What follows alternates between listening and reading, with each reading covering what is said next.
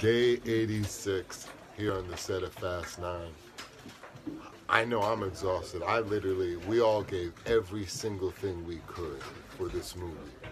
Put it all on the table, put it all out there. I'm tired, but I can't wait.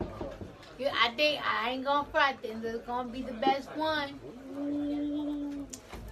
We were so blessed. Uh, the last day of filming in the UK, all love, always. Yep. Need take a nappy nap. Ready to take my nappy nap? I've been saying this the whole day. My nappy nap. Remember that nappy nap. Fast 9, May 2020. May 20th.